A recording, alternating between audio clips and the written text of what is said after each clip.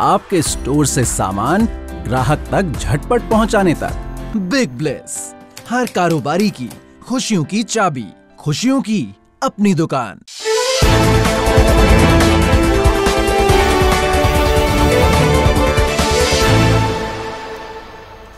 इसी के साथ अमित जी बात करें यहाँ से अगर अब एम कॉटन की तो एम कॉटन में हमने फिर से तेज़ी लौटते हुए देखी है।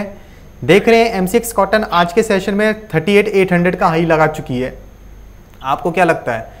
क्या 39,000 या 40,000 के भी एम कॉटन में लेवल्स देखने को मिल, मिल सकते हैं हम?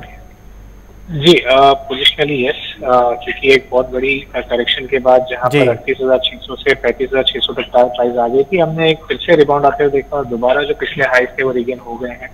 मेरा मानना है चालीस हज़ार के लेवल अभी भी पेंडिंग है जो काफ़ी पहले से एक व्यू मैं रख रहा हूँ। तो हम्म। इस बार इस रैली में चालीस हज़ार से चालीस हज़ार दो सौ तक के स्तर में देखने मिल जाएँगे। अगर कोई फ्रेश एंट्री कर रहे हैं तो पोजिशनल बेसिस पे सैंतीस हज़ार पाँच सौ का एक स्टॉप लॉस होना ज़रूरी है और immediate target thirty nine thousand three hundred और उसके बाद फोर्टी थाउज़ेंड टू हंड्रेड के दिए जा सकते हैं। जी। आपकी दुकान स्टोर में रखे सामान का पूरा खाता तैयार करने तक। बिग ब्लेस हर कारोबारी की खुशियों की चाबी खुशियों की अपनी दुकान।